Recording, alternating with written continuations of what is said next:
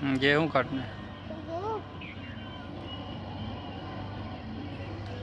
अब कहा तो कितने और करा अब तो कितने तेरी करा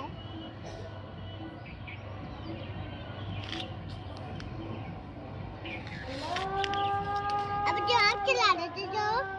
डाल कर